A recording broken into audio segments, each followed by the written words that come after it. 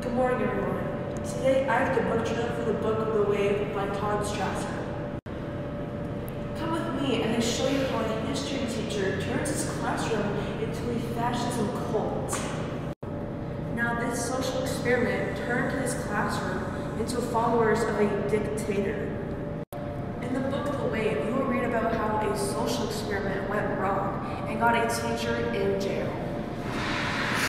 Recommend this book because it is a short 130 something pages long and it's based on a true story that happened in the 1960s.